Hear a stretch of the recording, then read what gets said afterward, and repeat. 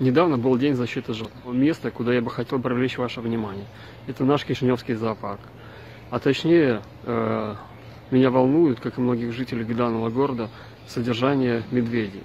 Медведи, которые здесь живут очень давно, находятся в очень плохих условиях. Животные в зоопарках должны жить э, в условиях приблизительно э, похожим на естественные условия.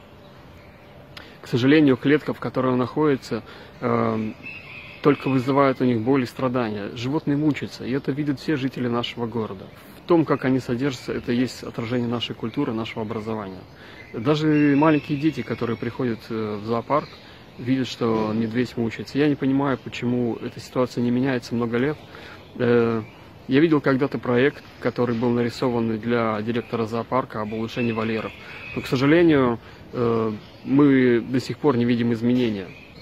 Э, я обращаюсь э, к мэру нашего города, к муниципальным советникам, ко всем людям, которые могут помочь. Данным медведям необходимо изменить условия. Они должны жить в хороших, больших вольерах, иметь водоем. Они не должны находиться в клетке 2 на 2 метра потому что э, данное содержание это мучение, издевательство и просто жестокое обращение с животными, которое не должно происходить в зоопарках.